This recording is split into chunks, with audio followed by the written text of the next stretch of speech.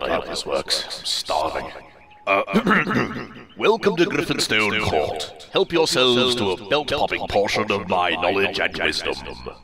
AJ Pony asks, what will happen to Uncle Jasper now? I reckon he's made the list. Let me see. Yep, it's been updated. Bad luck, Uncle. Doughboy asks, what is your favorite color?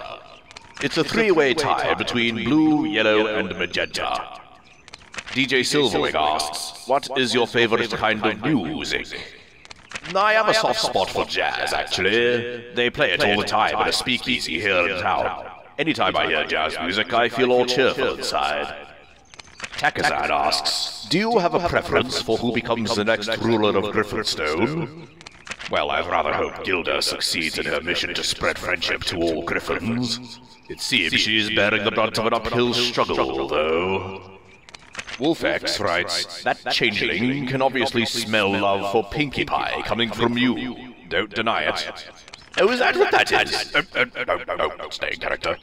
Uh, the day I claim to harbor affection for the pony responsible for the worst agony I have ever experienced is the day Cerberus makes yellow snow. Hmm, Now that I think of it, the smell is coming from the gorge now.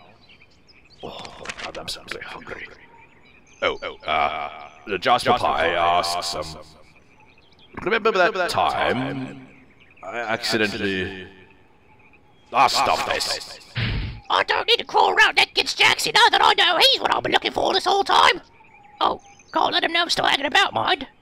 I'll just have to transform into the only one who could possibly get him out of there. Allah Zilla Baba Ganoush!